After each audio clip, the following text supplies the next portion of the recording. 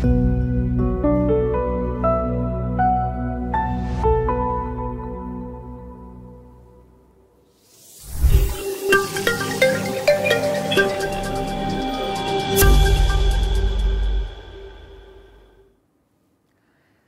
buongiorno, ben, bentornati a BB's Live, anche questo lunedì vediamo eh, un po' di novità eh, nel mondo appunto eh, della finanza alternativa e in primo luogo vi faccio un, un, punto sul tema Club Deal e Search Fund. Questo perché? Perché per Milano Finanza eh, BB's ha fornito una, una mappa insomma, di questi, questi veicoli eh, di, di, investimento che hanno appunto vari tipi di struttura e quindi abbiamo deciso di fare il punto della situazione perché effettivamente cominciano ad essercene parecchi e, e, sono anche molto, molto attivi. Ehm, in totale abbiamo mappato 39 veicoli di investimento in club deal che includono anche 13 search fund. Noi abbiamo deciso di inserire search fund all'interno di questo, di questo gruppo di, eh, di, investitori perché effettivamente poi vedremo si, si tratta alla fine di un, di un club deal. Ehm, allora diciamo che eh, abbiamo individuato quindi due strutture eh, sostanzialmente di, di, club deal. Da una parte ci sono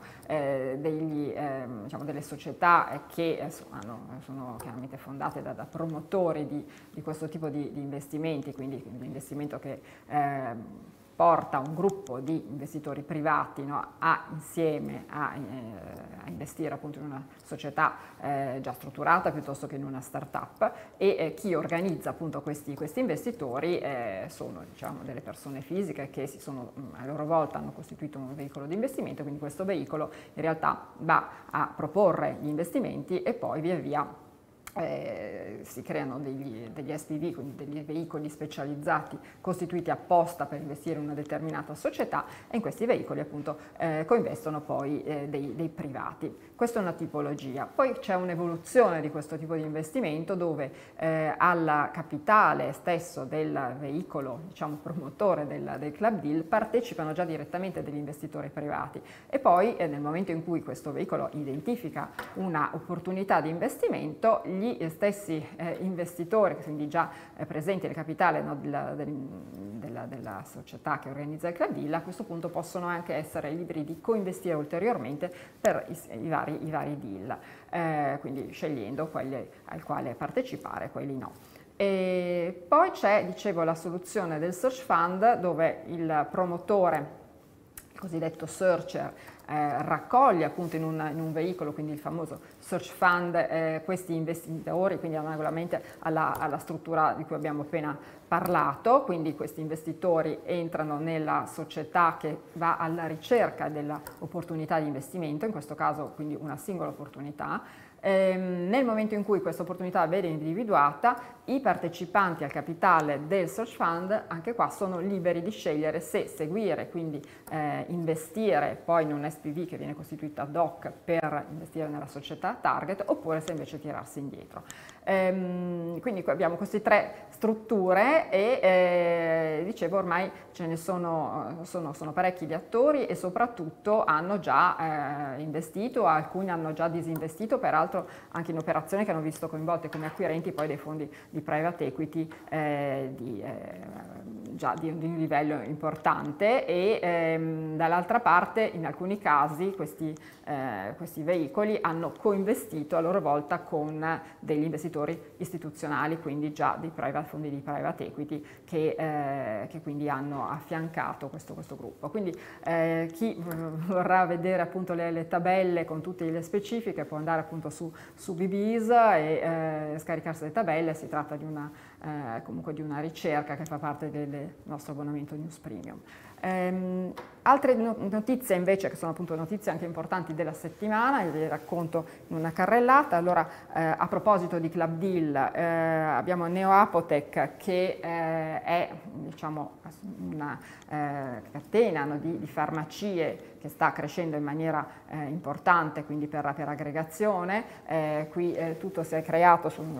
grazie alla Mm, all'inserimento di, di, capitali da parte di, di, Banca Profilo che a sua volta ha organizzato un club deal con i propri, i propri clienti e quindi in totale alla fine eh, hanno raggiunto i 130 milioni di euro di raccolta, quindi tra la, il club deal e le famiglie eh, principali titolari della, primo nucleo di farmacia che è stato acquisito, quindi la famiglia Riva, Cocchi e la famiglia Passoni. Ehm, vi parlo di questo perché mh, la scorsa settimana ehm, Neoapotec ha ottenuto un finanziamento in direct lending eh, da Tikeo Capital, quindi il fondo noto specializzato eh, in, in, private debt ma anche poi in private equity e in real estate, eh, fondo che è stato affiancato in questa operazione da Root Capital, quindi totale del finanziamento sono 100 milioni, questo sempre per poter dotare poi la società di ulteriori eh, capitali per andare a continuare la sua ehm, attività di M&A. Mm, poi notizia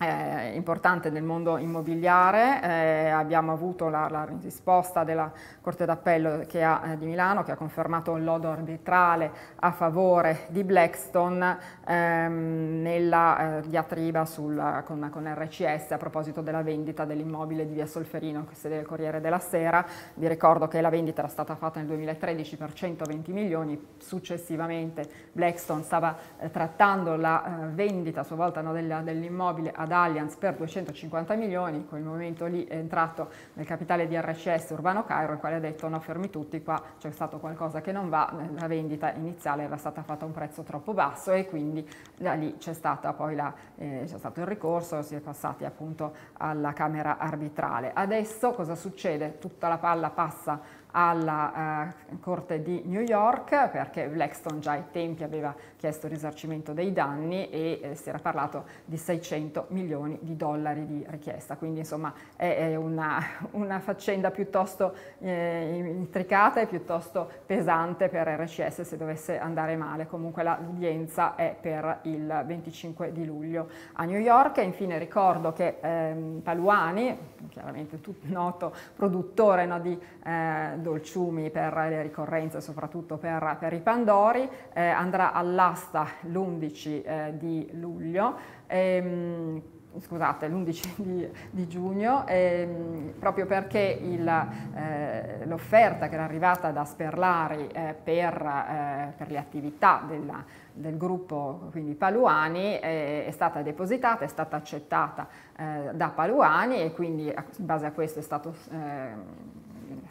depositato il piano concordatario eh, in, al Tribunale di Verona e adesso per legge eh, comunque è necessario che ci sia un'asta eh, in modo da permettere ad altri potenziali interessati di intervenire e eh, fare la loro offerta. Ehm, la base d'asta adesso è 7,6 milioni, quindi solo 100 mila euro superiore all'offerta eh, fatta da eh, Sperlari. Comunque tutto quanto dovrà terminare entro il 15 di luglio proprio perché questa è la data che Sperlari aveva mh, fissato come eh, ultima per poter eh, mantenere la propria offerta. Questo perché per cominciare la campagna di eh, Natale bisogna cominciare a lavorare adesso e quindi l'investitore che entra deve entrare proprio nel momento in cui la campagna inizia e non trovarsi a metà della corsa. Eh, adesso vi lascio e subito dopo la pubblicità faremo un approfondimento eh, importante e molto interessante su eh, MV Augusta che come sapete è una grande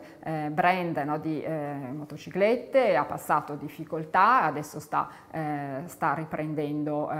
rilanciando proprio il suo il suo business e parleremo con eh, Timur Sardarov che è il CEO appunto di MV Augusta. E quindi ci rivediamo subito dopo la pubblicità. Grazie.